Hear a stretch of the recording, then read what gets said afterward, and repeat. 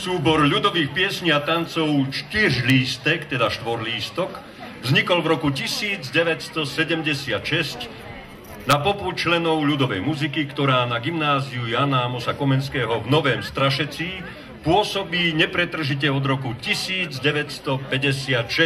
To znamená celých 50 rokov. A za to im prosím zatlieskajme. Ďakujem. Súbor sa zaoberá predovšetkým folklórom stredných Čiech, rakovníctvo, Berounsko a Slánsko, ale jeho cymbalová muzika hrá aj piesne z Moravy, najmä z Moravského Slovácka a Valašska. A dudácka kapela, teda gajdova, gajdovská muzika, zasa piesne z južných a západných Čiech. Za dobu svojej existencie uskutočnil súbor viac ako 1500 vystúpení v celej našej vlasti, aj ďaleko za hranicami. Jeho vystúpenia, jeho vystúpenia mali veľký úspech vo Francii, Taliansku, Belgii, Holandsku, Nemecku, Dánsku, Polsku, Slovinsku, v Izraeli a takisto i na Slovensku. Teda súbor Štyřlístek.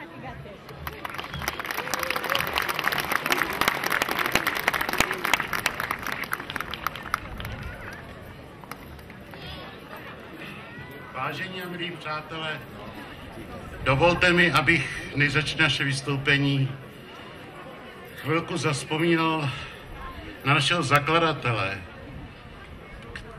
profesora Vladimíra Novotného, i mého třídního profesora na gymnáziu, který právě před půl hodinou jsem se dověděl, že zemřel v Motolské pražské nemocnici. A tak mi dovolte, abych tomu skvělému člověku, který srdcem nás všecky i svým kůštem zbláznil. Já sám s ním hrál 50 let v cymbalové muzice, zakladatel byl on. Dovolte, aby to vystoupení, které tady máme, jsme mu věnovali, protože on určitě rozdával celý život jenom radost, pohodu a doufám, že se z hora na nás bude dívat a bude držet palce, aby v tak krásné Liptovské teplice jsme se i líbili, přátelé z Čech.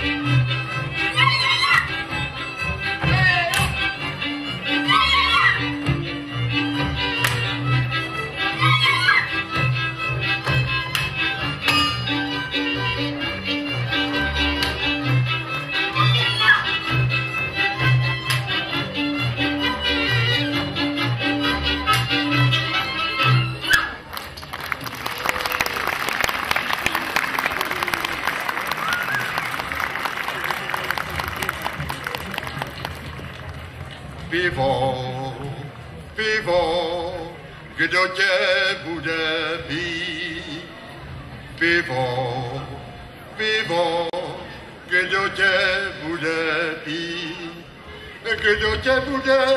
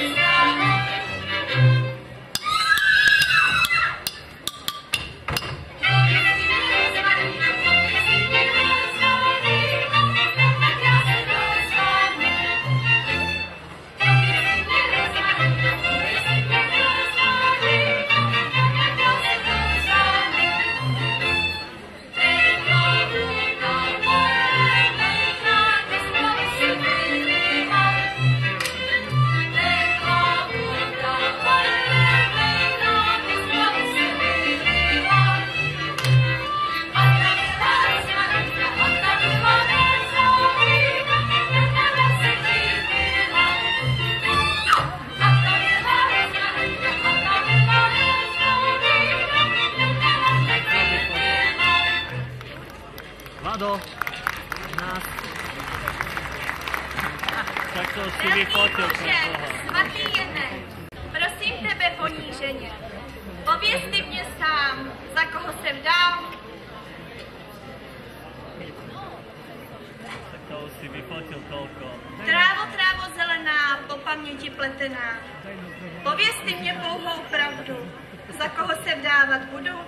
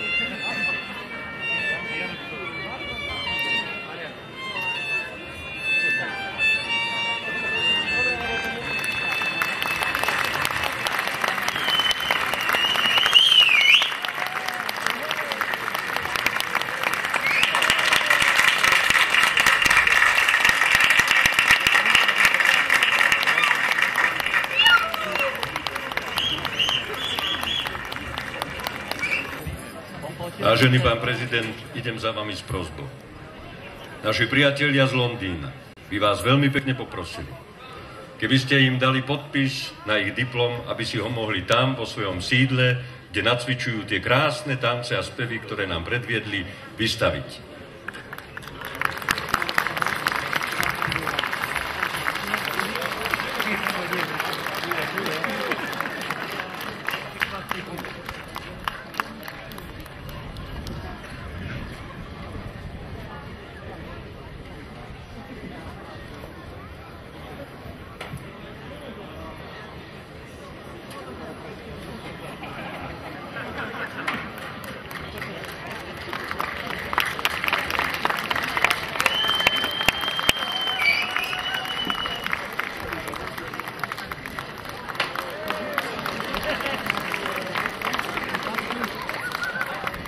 Vážení obyvatelia Liptovskej tepličky a blízkeho okolia. Máme tu medzi nami pána prezidenta. Musím vám oznámiť, že prišiel ďalší predstaviteľ vlády. Tajne vám oznamujem, že už ich v Bratislave to nebaví a prechádzajú sem, tu budú mať sídlo. A tak uvítajme veľkým potleskom pána ministra obrany, pána Františka Kašického s manželkou.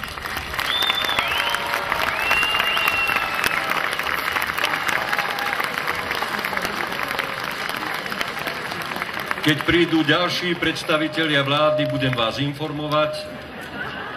Pán starosta, prosím, aby ste pripravili nejaké ubytovanie.